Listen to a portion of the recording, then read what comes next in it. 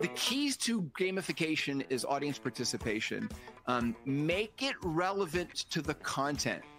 What you want to do is it, it it's not just about doing a fun game. It is about finding a way to connect gamification and great content. You're still trying to communicate something. And with that marketing example I showed you, like we, I had very serious webinar topics. I mean, marketing topics I wanted to talk about, but we did it in a fun way.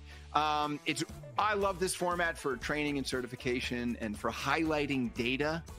It could be really good. Um, different types, different ways to do it. You could do full on game shows like I showed you.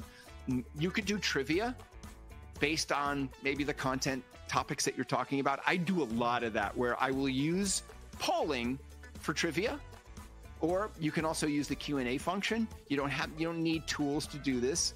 Um, contestant based shows are fun.